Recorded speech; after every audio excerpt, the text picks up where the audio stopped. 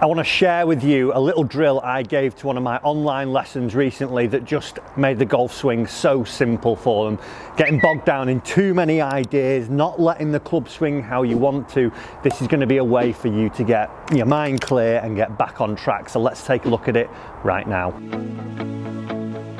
So the lesson that I'm referring to, we were getting basically too upright in this chap's swing and he had too many ideas, had watched too many things and wasn't really just letting the golf club swing and letting his arm movement and his body rotation work. There was a lot of steep picking up of the golf swing, then trying to really change direction, then movements through and wasn't really you know, a good looking golf swing at the start, but with this real simple drill and simple tip and a feeling that, especially when I do it here at the range and give it to people, it's almost a bit of a light bulb moment. The, the light bulb comes on and thinks, well, it can't be that, it can't be that easy, surely. But what we need to think about is every golf club in your bag sits at a certain angle and it's designed to swing around your body at said angle. So when you address that club, ideally if we were robots when we see that iron Byron where the club gets strapped in and it works up and down on a perfect plane, that's the angle that that club should be swinging on. Now, obviously, we're all humans and we're not going to be able to do that. And we can get in our own way, just like this chap was, by not moving the arms how we should do. And honestly, this is just, it's easy to do. All you need to do to get the feeling of letting the club actually swing and I heard my dad say this recently when I was on a, on a call with him and Danny Maude. We don't want to force the swing we want to swing the force. And what we mean by that is this big lump of metal there, we're not trying to force it at the golf ball. I want this just to start swinging. I don't want to try and put too much effort into it. Obviously there is some effort, but I want it to actually just flow and go through.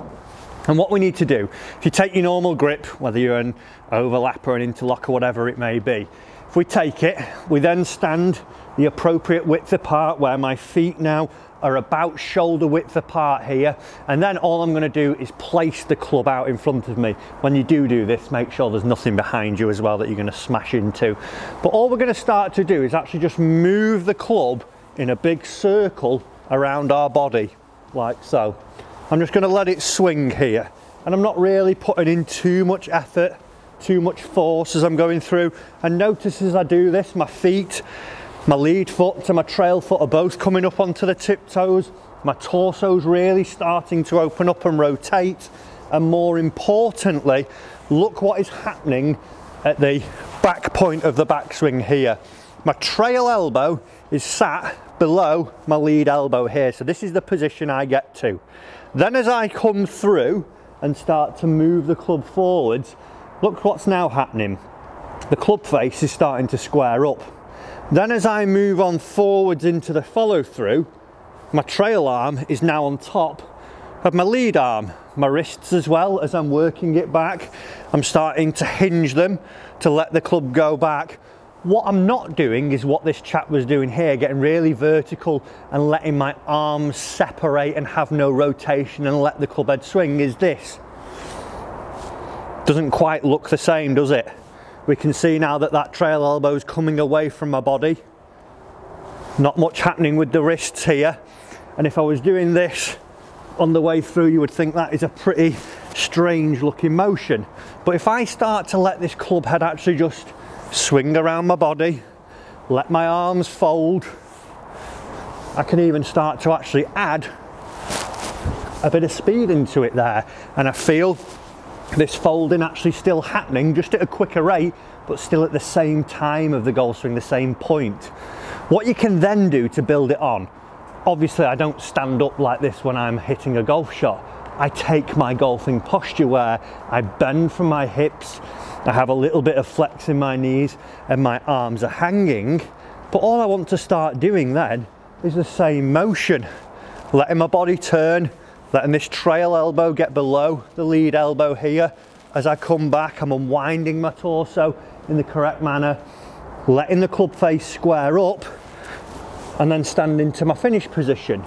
A great way to actually build down to it was if we were to start off a T-peg, and I've got my seven iron out here, but I'm going to start off on my driver T-peg here. So as I put it down, it's obviously quite a little bit above there as we're going through. So I would raise the club up like we see here. And then the feeling now is that I'm just going to get used to picking it off and clipping it away with that swing. Once I've got used to being a little bit above, that's going to stop me from the pick up, hitting down motion and getting this big separation of the arms. What it allows me to do is start sweeping the golf ball off. So I would have a few off the driver and then I would progress into something where I've gone from this high here to start off with, going all the way down to a smaller T-peg, but again, just feeling the same motion and I'm just letting that club start to swing. I'm not forcing the swing, I'm swinging the force. And then once I've got used to it, I'm taking my normal posture and all I'm doing is letting that club swing around me.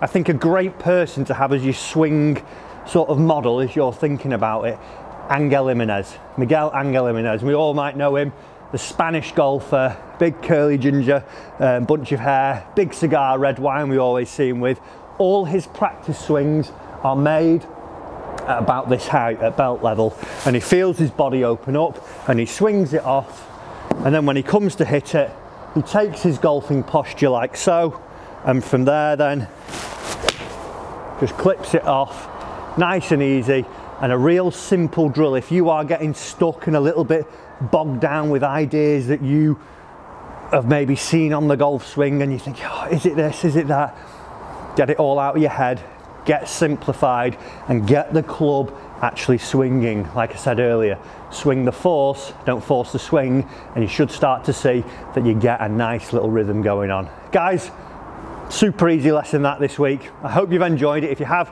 hit that like button as well. Do hit the subscribe button for me down below. I want you to get better at golf. You're gonna do that by joining me here every week for your free lesson. Thanks for watching.